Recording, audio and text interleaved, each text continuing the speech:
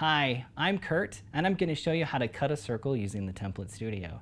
The Template Studio works with standard size poster board that you can pick up at any grocery store.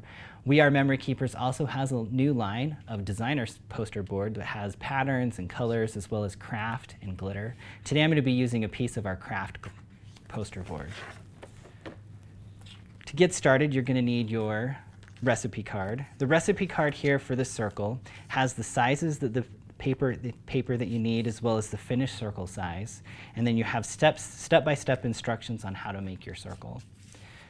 So to get started, I need to cut down my paper. I'm going to be making the extra large circle. And so on here on my instructions, the paper says I need it to be 22 by 22.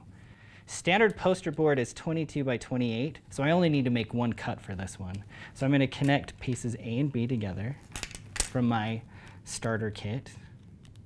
And then the arrows on these straight guides actually are uh, there to help guide you into where you'll be cutting. So I'm aligning it up to here to 22, and then I'm going to take my gray cutting blade. I'm just going to cut along, being sure to hold this in place so it doesn't move on me. I Didn't get all the way through there. There we go. And here's my paper. So this is 22 by 22. Now to align my extra large circle guide, I'm going to look at right here on the side, there's these little notches that stick out, and that's going to point to the, to the number I need. So this one is being lined up, as you can see right here, at 11 and 11. So I'm going to push my guide down in here, lock it into place at 11 and 11. And then I'm going to take my gray cutting blade again and just cut around the edge of the circle. And now I'm going to take this and rotate it 90 degrees and repeat what I did before. The thing that's nice about this is you don't have to get a plate out or a platter like I used to have to do doing class projects or different things. You can just use the blade to make large circles. Repeat it again on the other side, aligning it here in the corner. Not quite. There we go. Okay. Now you can leave the pieces on there as you go around or you can rip them off. Any way works perfectly. Just line it up in there.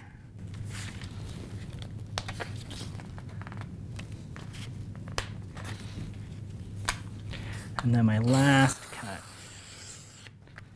now you don't need to worry if it doesn't line up exactly. You can just take your scissors. You can see I have a little notch there that I need to clean up. And just come in and clean up where those little pieces are, where they, in the corners. make a nice edge there for you. So there we go. Here is a large circle.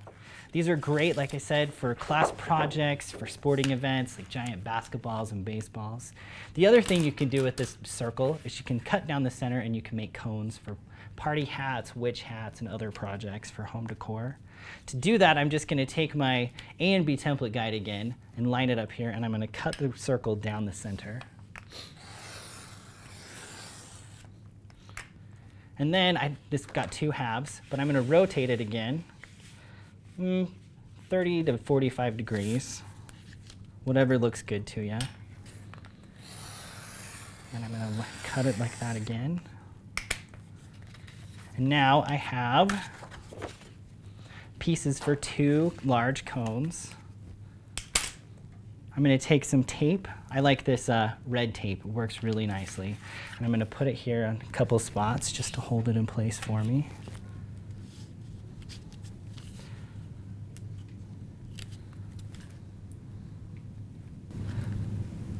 All right.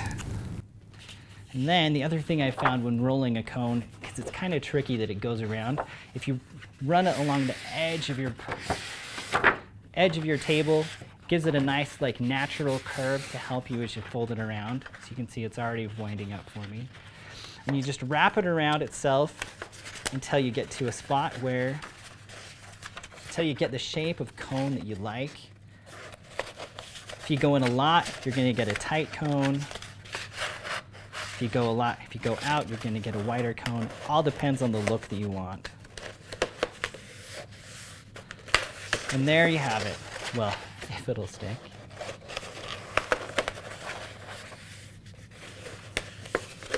There is a cone for you. You just need to decorate it with a little fringe on top for a party hat, put another circle at the base and it can be a witch hat, whatever you desire. You can embellish it however you like. This is just one of the many projects you can make using Template Studio. Be sure to check out our other instructional videos.